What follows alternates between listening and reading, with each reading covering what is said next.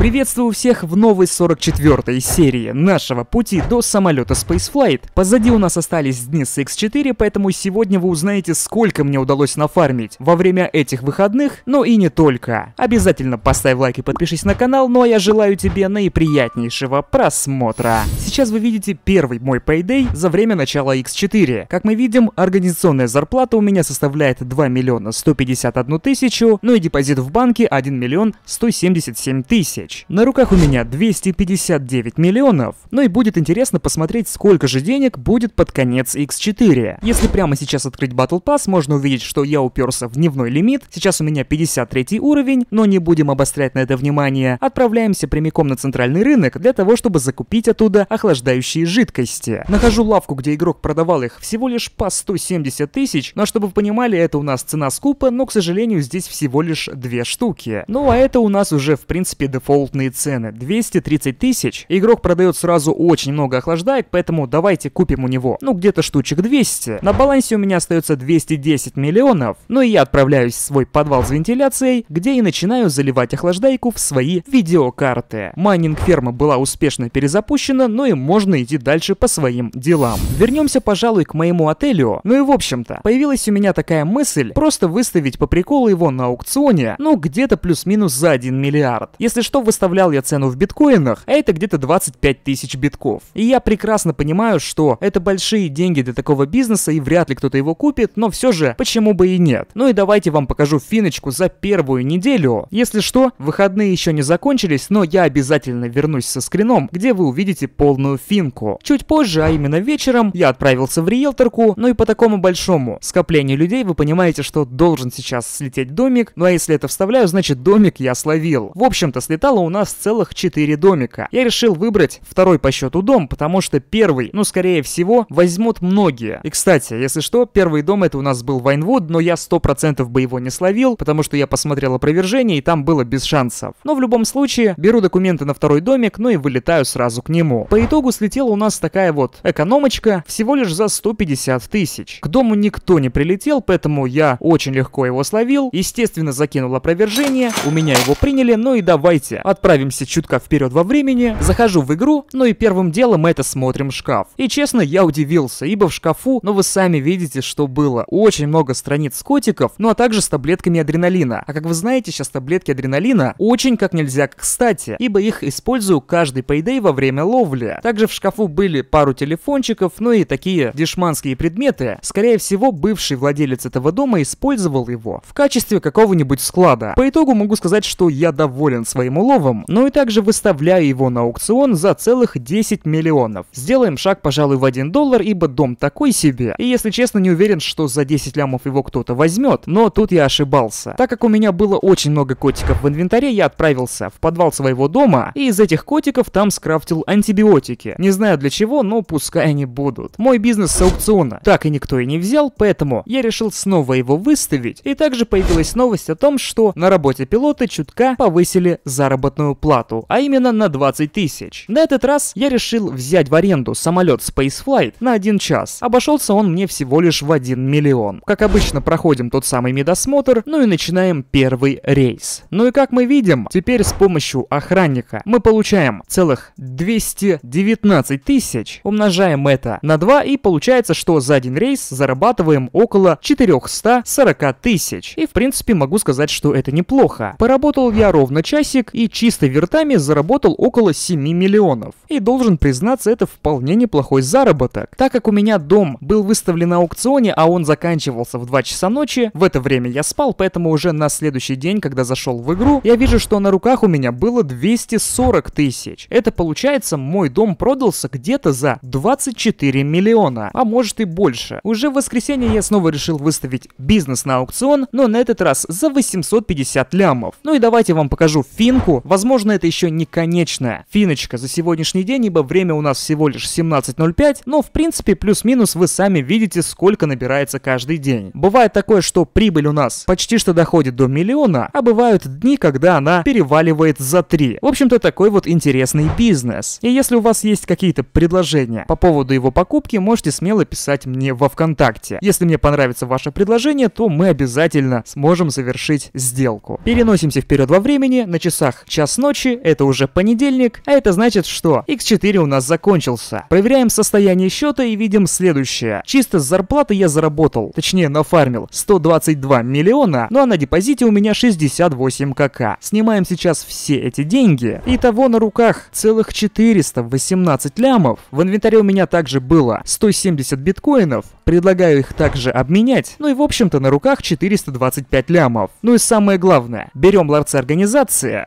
Изначально у меня было их 17, ну а сейчас целых 42. А как у вас прошли X4 выходные на Аризоне?